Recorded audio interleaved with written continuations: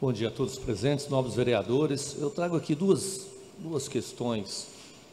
Primeiro é, é uma, uma, a respeito do odontomóvel nosso da prefeitura, que em 2021 nós liberamos uma verba da impositiva para comprar um novo odontomóvel, visto que há dezenas de anos aí a gente só tem um odontomóvel em Franca para atender as creches.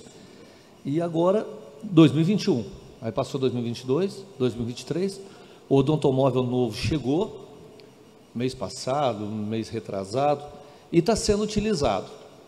O problema é que ele começou a ser utilizado e o antigo parou. Parou por falta de, de dentistas e segundo informações aí, quando for abrir novo, os novos UBS, eles vão chamar os novos dentistas. Então é uma pena.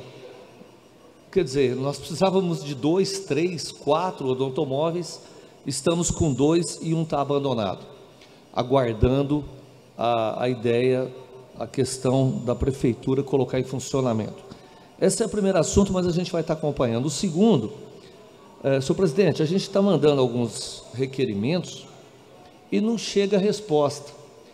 Como eu vou ler ele aqui, esse requerimento que eu fiz para os novos vereadores, porque às vezes alguém tem alguma resposta para mim, e aí eles não precisam nem mandar resposta, porque eu enviei o requerimento dia 29 de maio, e a nossa função realmente pedir respostas das, das questões.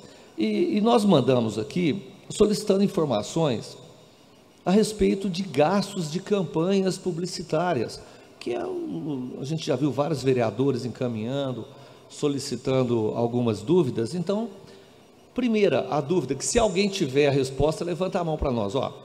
Qual o cronograma anual das campanhas publicitárias de cunhos informativos, educativos ou de orientação social e seus respectivos custos, que por sua vez compõem os montantes da LOA para 2023?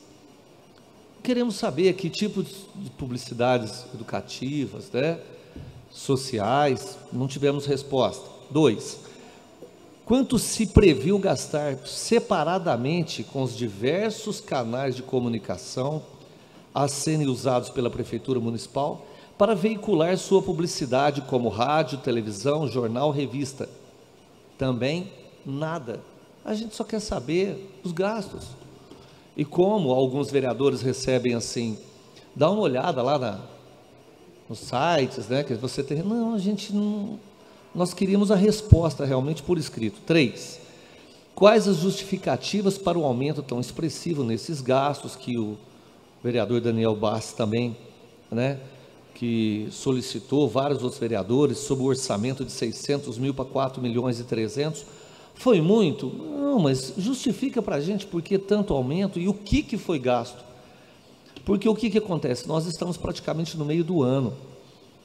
E se nós não temos informações do ano que vem, não vamos ter nesse, nós vamos ter que cortar gastos aí na raiz, né?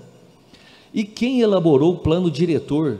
Porque tudo precisa ter plano, precisa ter é, planejamento. Quem elaborou o plano diretor que estruturou todos esses gastos com publicidades?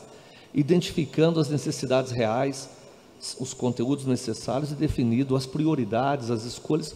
Quem que montou esse projeto orçamentário para gastos com publicidades? E cinco, dados os expressivos valores a serem gastos e com tantas outras carências no município, quais os mecanismos efetivos da própria prefeitura para avaliação dessas campanhas? A gente só quer saber Quais são as campanhas? Porque a gente sabe que está tendo algumas, algumas placas, né? Inclusive consta-se os valores das placas, tudo bem.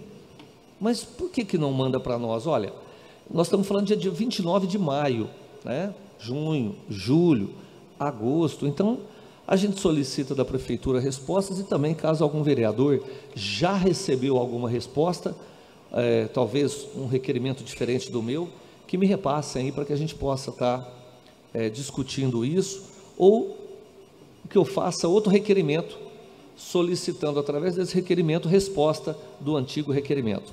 Obrigado, Excelência.